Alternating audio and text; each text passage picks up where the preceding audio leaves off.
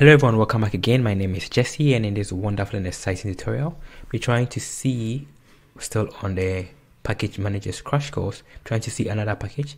So we saw how to work with apt and apt-get.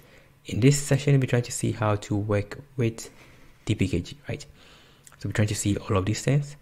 So first of all, dpkg, right, is for Debian. And then the idea is that first you need to find a way of getting your .deb file .deb file. Then you can use dpkg to manage it, right? To unpack it, install it, and the rest. So we can use apt as we saw earlier on, which apt simplifies most of the things for you.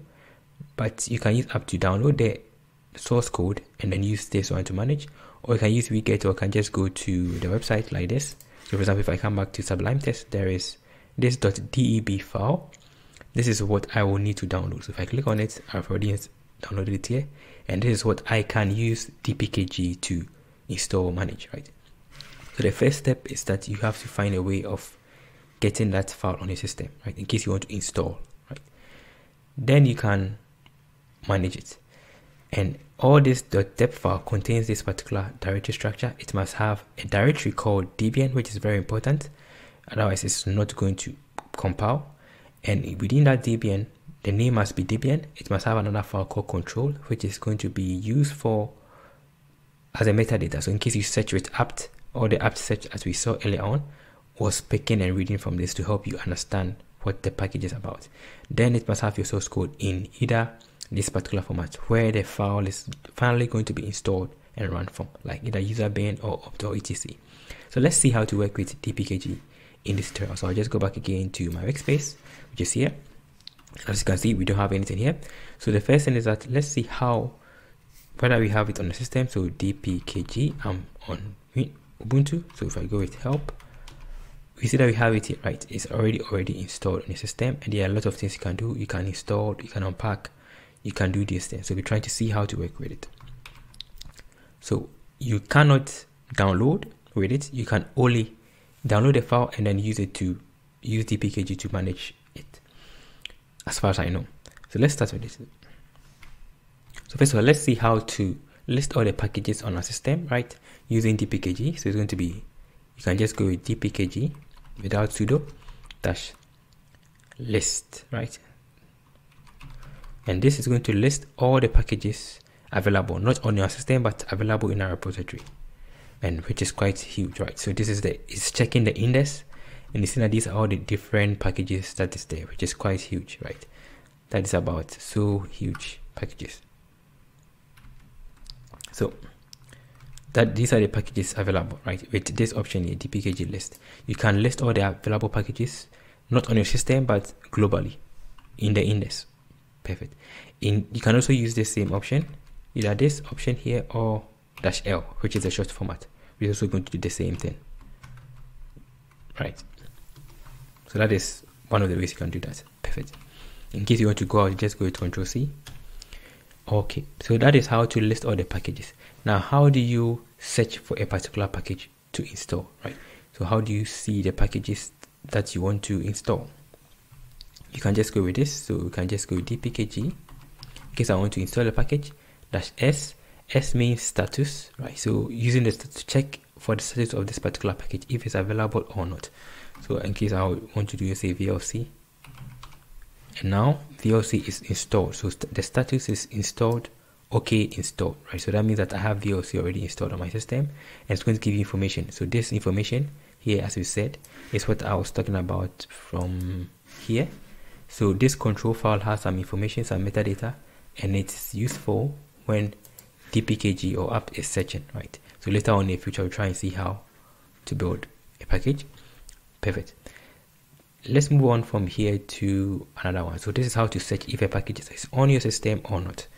You can also try another one. So let's say player as we have been doing. Player ctl is not on our system right? So player ctl is not installed on our system. That is very important. So that is how to search for a package. You can also go with this option here the long format. The s does not stand for search but status right it's not there right? Let's try another one. So i want to check for docker. If docker i have docker. I do not have docker. I say I want to check for something like let's check for Nginx right? So if it's installed it's going to tell you that it's installed okay. That is how to check if a particular package is installed on your system using this option here right? Or this. Okay now let's see how to list another way you can also check if a package is available is going with this dpkg dash l right? This dash l gives you the entire list. Then you specify the package that you want to check. So nginx and you see that this is desired the status is already installed on the system. If it's installed it's going to show. If i check let's say uh, let's check the player ctl so the nginx let's give us this. In case i go with the nginx we had it here in case i go with something that is not available to player ctl so there's no information so that is another way you can also search so you can use the s status or you can use the list and then specify. That's another way you can check if a package is available or not. Let's see how to get the package. So as I said, you have to go to the website and download it or you can go to this place that is packages.ubuntu.com and then you search for the particular package. So let's say I'll search for player. Let's make it bigger. The player CTL. Then if I go with this search if it's available, it's going to give you some information yeah sorry you have searches your search have no results so you have to configure configure them right but sometimes i prefer to go with the terminal right to make it easy so there are two options so let's get the package that we want to install. So we will do the same thing as we did. We can just go with sudo apt download my player ctl. That's what you're using for now. And now we have it there. So we have gotten our package. It's in case we want to install this particular page how do we do that? We just go with my package so sudo or we can just go with dpkg. So dpkg dash i i stand for install then i can just pass in my package right? To player deb you must have this .deb file in order for it to work. And now it's available. So if i go back and i check as we did dp pkg dash s my player ctl so now we have it already installed right? So that is how to install it using using this option right? Dash i you can also use install like this. Perfect. Right so either you use i like this or install or any of them is going to work. Now how do you uninstall a particular package? Right so it's going to be the same thing. So sudo dpkg dash r for remove then the name of the package that you want to remove. So player ctl right. Without the deb is going to work it's going to check it if it's available and take it out right? So if you're removing if it's already installed you don't need this deb because it's already installed. I'm going to take it off. So if i go with my search for it again it's not available right? That's being taken off. That is how to install a package with these options or remove them right? Using dpkg let's see how to also check for the location of a particular package that has been installed so i want you to check if vlc is installed so sudo dpkg s for status VLC. VLC is installed. I want to know where it is installed on my system, right? So to do that, just go with sudo sudo dpkg dash capital L for location. Then I'll specify VLC. And now this is all the places that I have VLC installed on the system, right? Very interesting. Right, you can see that now we have VLC installed on the system and you can see the location. So we use dash L to know the location that we have for VLC. That is how to know the location where a particular stuff is installed. In case you also want to remove something, you can also go with the R as we saw. You can also use P for purge. So let's try with what we did earlier on. I want to install it again and I want to purge it or remove it. You can just go with sudo dpkg dash P, capital P, then the name of that so player ctl and this is going to remove it together with other configuration right? So now it's no more available. If i search for it it's not available. Perfect. Let's see one more thing we can also do so we had our file here. In case we want to see the content before we install it we can use dpkg right? If it's bigger enough. Dash c right for content. Then i'll just go with my file. So and now this is going to show the content of this particular system without installing it. And you can see that all of them have user dot user bin dot user bin player blah blah blah. This is the location as i said where it's going to be installed right? So it's very very important. So it must have this it must have this location. So if i check it out that is it right? Very simple and very important. That's how to see the content. You can use dash c or you can also use this option. Dash dash content. Both of them are the same right it's supposed to be i think content. I think it's supposed to be c double c yeah content not double c dot but s.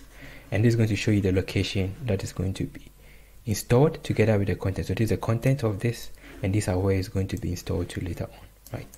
Very simple. So you have seen how to use dpkg to do some stuff. It's now to use to install remove. You have seen how to see the content of it. Now let's see how to unpack it right? So as i said it has a structure. So in case i want to unpack this entire stuff that i have i can just go with dpkg that dash unpack. Then i'll just pass in the name there. It's giving us an error because it requires super privileges for me to unpack it. So sudo and now it has been unpacked perfectly right? Without installing right? So selected unpackage blah blah blah.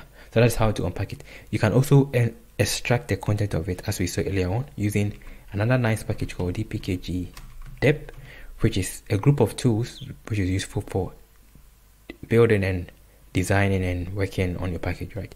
So dash dep, then you just go with dash r for extract then the name of the package so player ctl and then you can just give the directory that you want to put it there. So let's first create our directory so here there's nothing there. I'm going to create a directory called player ctl temp.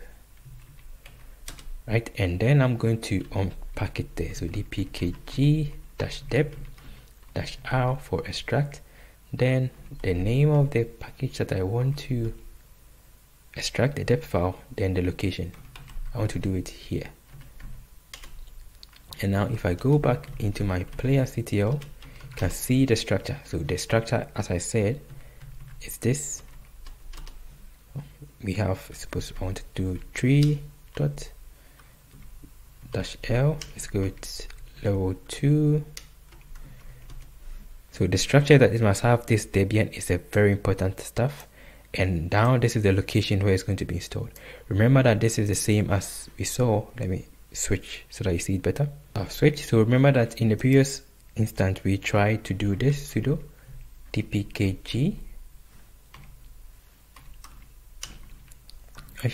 l capital L then we specify the name of the location to player ctl and this one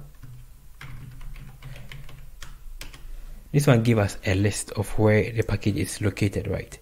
So if we go to the same directory so tree then I go to my player CTL template the one we extracted re recently then I just go with dash L for level 2 just two levels you see that it has this same structure so this is very important at the Origin Vashna so this is for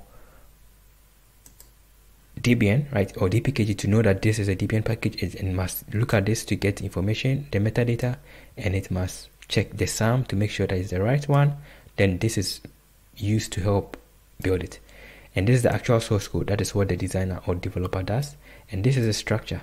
So this structure is where finally when I install this particular package, it's going to be installed to. It's going to automatically go to my user bin or user share and put the other code there. That is why you could see it here. So we have user, which is this one. We have bin, which is this one. We have share, and then so if I go into my so cd into user, to my player, into my user, into bin. So we have the actual code there, this particular stuff there. That is what is here, right? So the structure is very important because it's very useful when you are building a package, right? When you are building a Debian package, that is how it works. So that is how to work with DPKG. I hope you have learned something and I hope I was not talking too much. So in another tutorial, we're trying to see how to build a package from scratch using Debian or and then DPKG. See you in the next session. Stay blessed. So the tutorial is going to be below. The links and everything is going to be here. So you can also check it out. All the stuff, all the code is there, right? So I hope I did not miss anything. Everything is available. So there's a recap. So to recap, you can use DPKG to do some interesting stuff, right? You can also use GD, GDB to also help you install stuff. See you another time. Let me know your opinion and check the link below for some interesting materials to help you master machine learning and then Python. Bye.